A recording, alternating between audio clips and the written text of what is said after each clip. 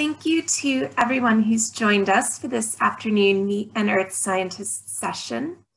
I'm Alicia Newton, and I'm the Director of Science and Communications at the Geological Society of London. And we've been working with a group of societies across Europe to help engage people, and especially girls and young women in the geosciences.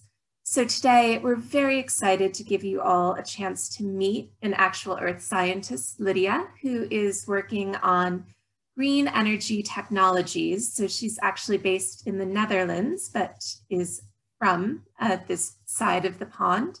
And I'm going to ask her to tell us a little bit about how she got interested in geosciences and what she does. And then we will open it up to any questions that you might have. So since we're recording, we're not going to have people speaking. So if you have any questions, please start putting them in the Q&A box and we'll start to answer them after Lydia's told us about herself. So thank you and welcome, Lydia. Great, thank you, Isha. Um, I'll just quickly share my screen. Um,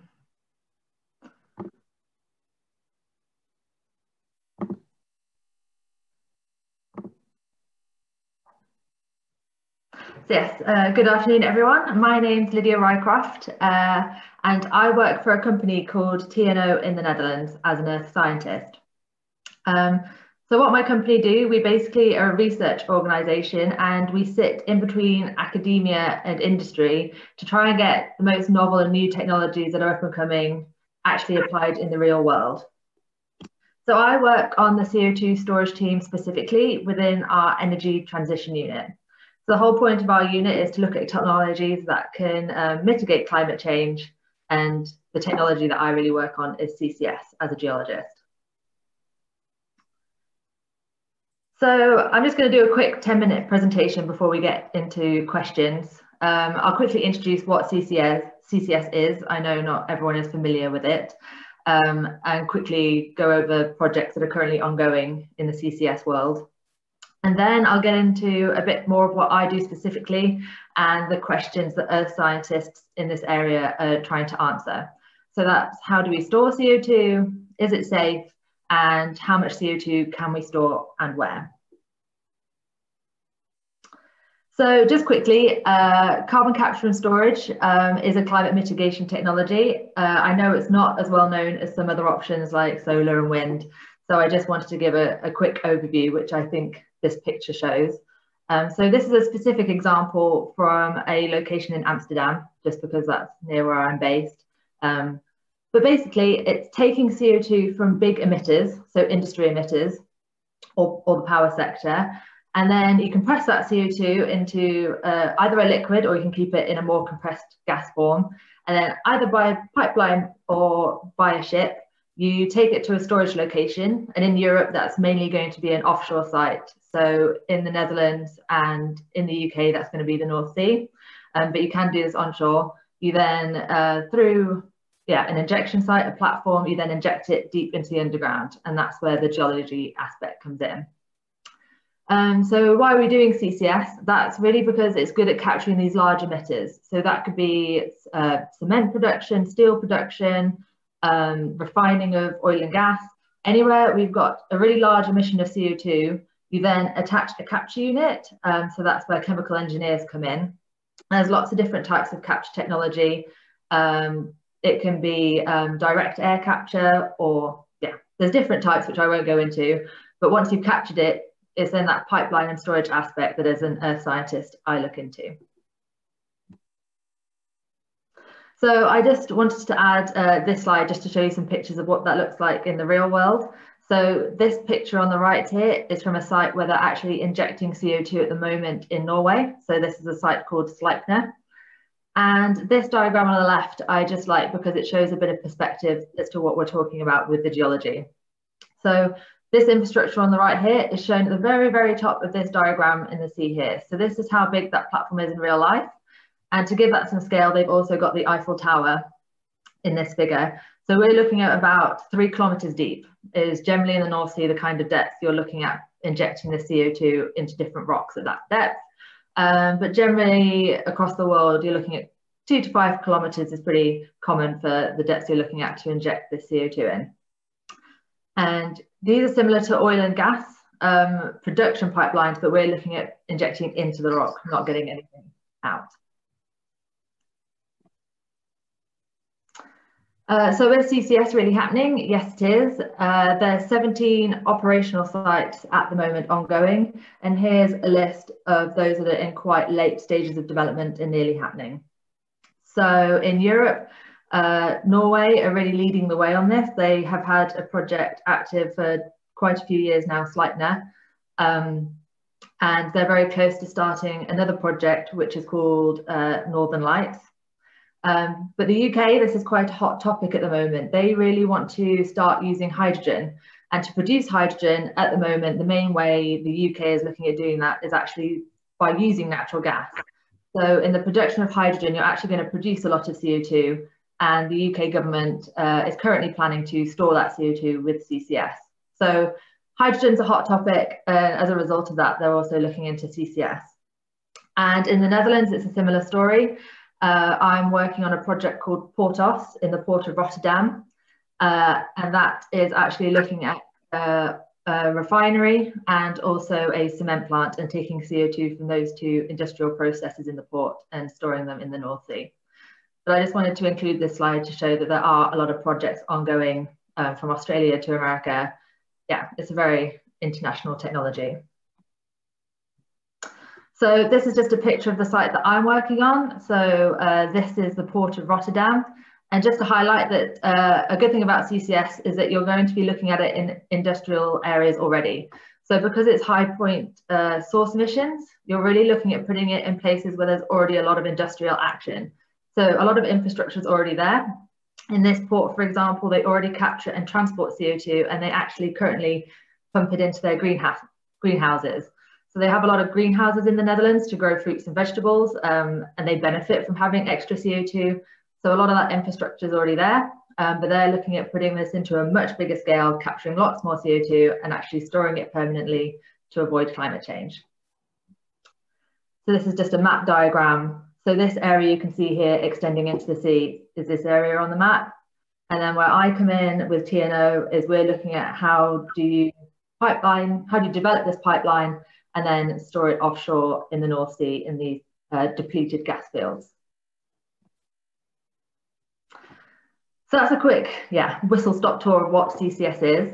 Um, I now wanted to go into quickly just a bit more detail into as an earth scientist, where can you work? Where are the questions to answer really? So how do we store CO2?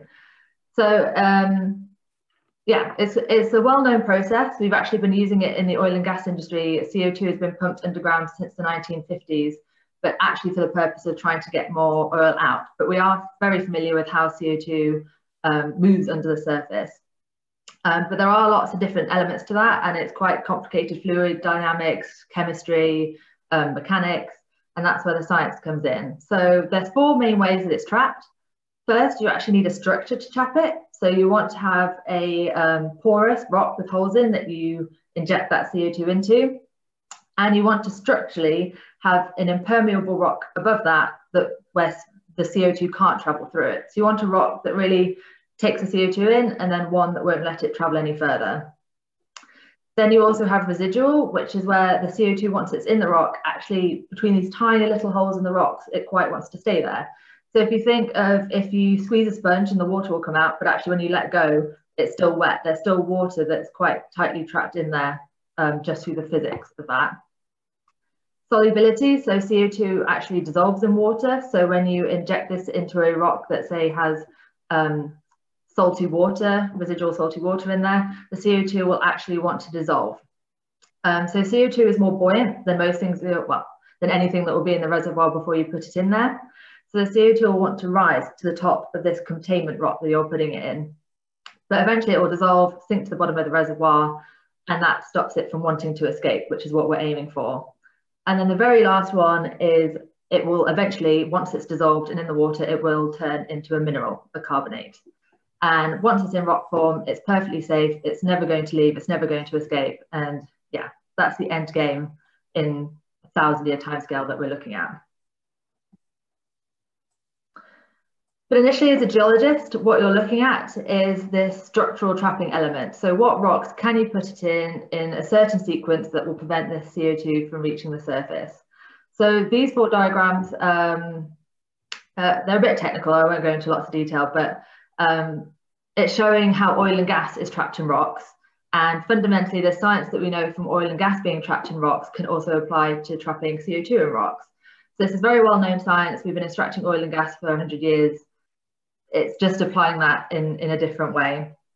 And uh, in the geology world, there's lots of different terms for this, these types of trapping mechanisms, but you're looking at curvature or faulting or how these rocks have moved, and also salt domes can just create lots of different ways that you'll actually trap the CO2 in the rock by the way the different rock layers are interacting. Um, so this is just to show a large scale the sort of what we do as a geologist and how the rocks are deposited, where they are, their features is really important for knowing how and where we can store CO2. And I've just included this diagram. So it shows um, these different injection sites at the top, and then at the depth, you actually get the CO2 plume. So once you've injected it at a point, it's going to spread along your rock and then start to dissolve. And that's where you see these fingers coming down as the CO2 dissolving into the residual water and starting to think. Um, I just included this because I wanted to show that as scientist, people are working at very different scales. So some will be looking, um, as A and B show, at the very tiny millimeter, centimeter scale at the fluid interactions and the fluid dynamics and the chemistry that's happening at that scale. But you also get the geologists that are looking at a 100 kilometer scale. Where is the CO2 going to migrate to? What are the rock characteristics in that area?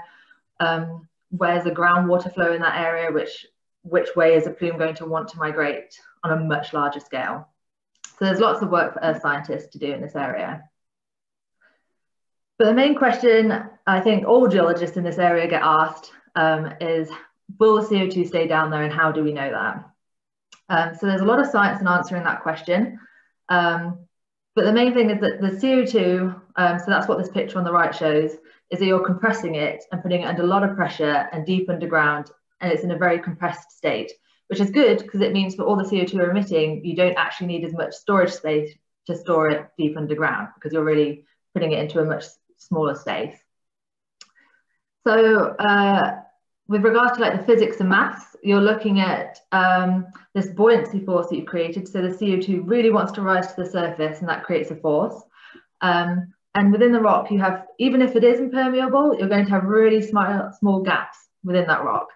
So um, for a liquid to force itself into those tiny holes, that's called a capillary force. And you want to make sure that those two forces, that the buoyancy doesn't overcome that and rise to the surface. So that's what um, the maths and physics modelers within earth science will be looking at and the fluid people that are experts in fluid dynamics. Uh, on a larger scale, you're looking at the geometry of the rocks. How thick are they? How far across a map would they extend? And then you've also got the geomechanics, which is the integrity. Um, how high can I get the pressures to before this rock breaks? Um, yeah, how strong is the rock? How sturdy? Where are the forces? Are there earthquakes in this area? Those sorts of questions. Um, but overall, yes, CO2 storage is safe. And as geologists, we know that. Um, so oil and gas is naturally occurring in these areas. Now that we've taken the oil and gas out, we're looking to put CO2 in if it's stored oil and gas safely for millions of years, we're pretty certain it can do that with CO2 as well under safe conditions. There's lots of projects that have put CO2 underground, none of them have leaked. There's 17 large-scale facilities currently operating that are currently putting more than 30 million tons of CO2 under the ground per year. None of them have leaked, they're all safe. Um, you just have to put the regulations there. And in Europe especially, um, they have some of the most stringent regulations on CO2 storage. Um, we have a storage directive on CO2 storage specifically, and the regulation is really there to make sure any operator of these sites um, really has to have very, very high standards of safety. So, and at TNO, that's the, that's the sort of thing we work on. What, how fast can you inject, how much can you inject, and keep it safe. So uh, the big question that we answer as scientists um, in terms of the operator that wants to do this is how much can they store and where can they store it? Um, so this picture is a bit old, um, but I just think it nicely shows that geology is very much dependent on where you are. So in the Netherlands, I'm working on gas fields. So where they've extracted gas, they're now looking at putting CO2 in. Um, but say you're working in the UK, you're going to actually probably be looking at depleted oil fields, just because the geology is different even in areas of the North Sea. So I think that's an interesting element that just because you're an expert in CCS doesn't mean you're going to need the same knowledge at different, yeah, different sites around the world. So that can make it a really interesting job. So here's just an example for me specifically uh, where I am in the Netherlands. Uh, this is an example of the offshore sites that we are looking at uh, for this Porthos project I mentioned.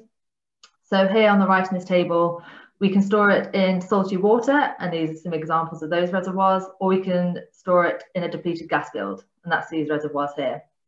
And then we say, having looked at the geology, we think it can store a maximum of, for example, here, that's 110 million tons.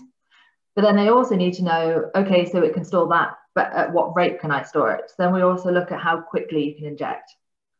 So yeah, those are just some of the questions that I answer on a day-to-day basis. And I hope I've given a bit of an overview of the different questions earth scientists are currently answering. Yeah, thank you. Thanks so much, Lydia. Um, and we've got a bunch of questions to throw at you. So start with the first one, and that's what degrees do you need in order to get into this interest industry? So if it's CCS as a whole, there are there are just so many jobs because there is the the earth science storage bit, but also that includes um, engineering. So you could be a petroleum engineer looking at the wells or the pipelines, but then there's also chemical engineers that do the capture side. So in terms of degrees, it does cover it does cover a whole whole range depending on what aspect. But in terms of earth scientists, I also think it covers all. So whether that's the chemistry, the mechanics, the physics, yeah, it covers a whole whole range. Great. And then along those lines, how did you get into the industry? Uh, so for me personally, it began, I hadn't heard of CCS until I started my geology degree. Um, but I did start my geology degree really wanting to work on, you know, green energy and I really wanted to work towards climate change mitigation. And then whilst doing my degree, we did a module on uh, I think it was fluid dynamics or hydrogeology, and they mentioned that this science was useful for CO2 underground and that CCS existed. And so then I decided to do my master's project on CCS. So that's how I, I got started. Um, just a question from me. What made you decide to do geology as a degree? So I think for me, I remember watching um, Al Gore's uh, famous film called An Inconvenient Truth. And that got me really interested in climate change. And for me, I became fascinated that, that humans alone could have such an impact on our planet. And I think geology for me was this idea that everything around me, my computer, my telephone, we've taken these things out of the ground. And I just became really obsessed with the idea that metals and concrete and how how do we get something so specific from what just looks like dirt and earth and rocks and how does that happen? And yeah, I think that's what got me initially interested in geology as a whole. Great.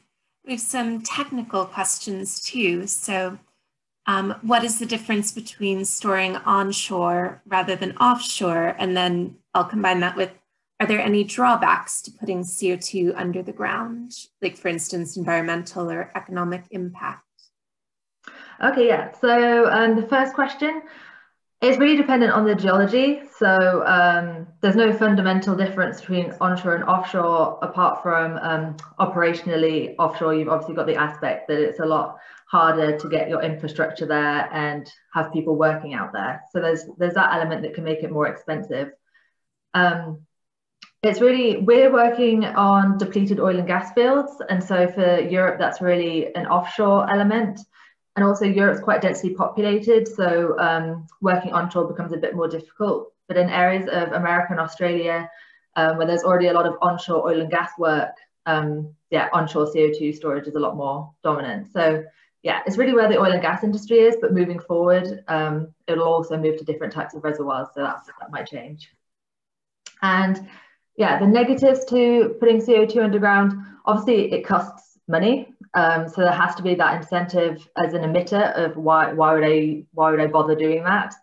So in Europe we have a thing called the emissions trading scheme, and that's basically a um, yeah, a, a, CO2 tax where for emitting CO2 you pay money. And so that's where the incentive for CO2 storage comes because you don't have to pay that tax if you put it underground permanently and avoid climate change. Um, environmental, um, it's something you have to be aware of. And as a geologist, that, that's what we're doing to make sure it doesn't leak. Um, but, but we're very, very certain that you can do it without it leaking. And we monitor that extensively. But should it reach the surface, it will be in very small amounts. Um, it will be monitored. And at the end of the day, CO2 is being emitted to the atmosphere anyway. It, it's, it's, it's in the air. So it's not as if it's a very toxic chemical that we're putting down there. But it's not that we want it to leak or we're happy with it leaking. That's definitely something that's a very small risk, but one we take very seriously. Great. And um, how do you see this technology changing in the future? Um, so I would say a lot of the, if you look at textbooks from 10, 15 years ago, they're really looking at applying this to coal-fired power stations. And already we're looking at getting rid of coal completely. So we're not even capturing CO2 from that. We're just not having uh, coal-based emissions. So um, yeah, I think CCS is really going to develop onto different technologies. So for elements like steel production and cement production, um, you're always going to emit CO2 just inherently in the process. So unless you use different materials, um, you're going to need to capture the CO2. So I think, yeah, and also hydrogen production, if it's from natural gas, you need to capture those emissions. So what you apply CCS to, I think, is going to change in the future. But then also a big change will be the capture technology. So these are the more novel aspect, um, the newer technologies. I think these will become cheaper, more efficient, more readily available as time goes on. Great. And um, going back to degrees, do you think that an environmental degree will help you get into this field? Definitely. So a big uh, point of debate at the moment is the regulation and policy around this. And also you have to conduct environmental impact assessments for this. Uh, but in Europe, especially, so we have it in Norway, but that's not necessarily under EU regulations um, for certain aspects. Um, but so lots of projects are now starting under the EU directives. Um, so the regulations there, but operators aren't sure on how they can meet these regulations. How do you show that it's not having an impact on the environment, even though it's not? It, how do you prove that? So definitely working in the environment area and policy and regulation, that's that's really up and coming for CCS. Great. And um, do a slightly contentious question, but do you think that CCS gives the industry a get out of jail free card to carry on polluting? I think CCS does have that image of um, it's an enabler for fossil fuels. Um, and I, I would hate to think that a operate, uh, oil and gas operator would just greenwash CCS and say, oh yeah, yeah, we'll do it and it's fine. We'll keep emitting, but we'll say we're going to do this.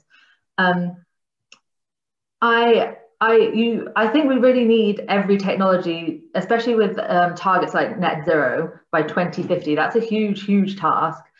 And I think this green energy revolution is going to need absolutely everything as quick as possible wind, solar.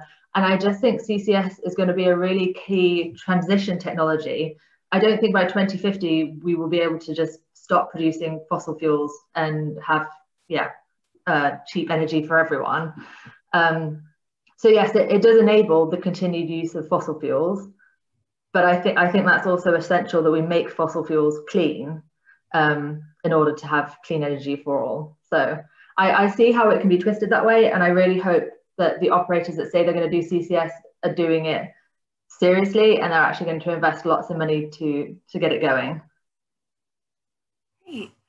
So I think um, in the interest of time, I'd like to finish up with one sort of general question, but what would you say to anyone who wants to get into a field like this, whether it's CCS or other green energy technologies?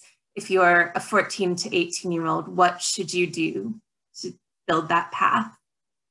Yeah, so um, yeah, so to get into geology specifically, I think as long as you're taking science subjects at school, um, you don't have to take anything related to geology specifically, because I know not all schools offer geology at A level, etc. So I think as long as you're getting a good background in math, physics, chemistry, um, you're definitely gonna set yourself up really well to work in sciences and the energy transition in general.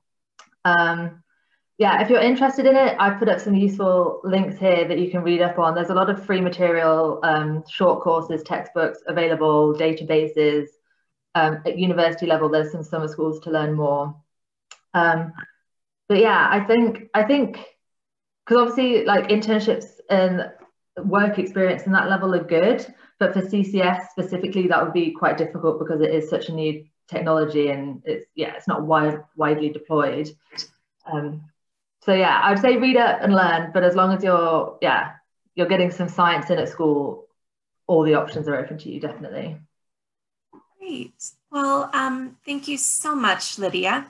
And if you do have questions about what sort of careers are available to you, like if you've done a geology degree or geography or environmental science, um, I encourage you to go to the Geological Society's website and look at our careers pathways resources. And you know, just to echo Lydia, a geology degree is open for everyone. So don't worry if you didn't manage to take one at an A level, you should be able to look into doing one um, just from STEM and geography type A levels. So um, thank you everyone for joining us today. And um, thank you, Lydia, for taking your time. And don't forget, we have three more sessions throughout the day. So please tune into them if you'd like. And also we'll be putting this on YouTube in the next few weeks. So you can tell all your friends if they'd like to watch this and um, learn about CCS as a career path. So thank you everyone for all of your time. Thank, thank you for having me. Hey, thank you. Thanks, everyone.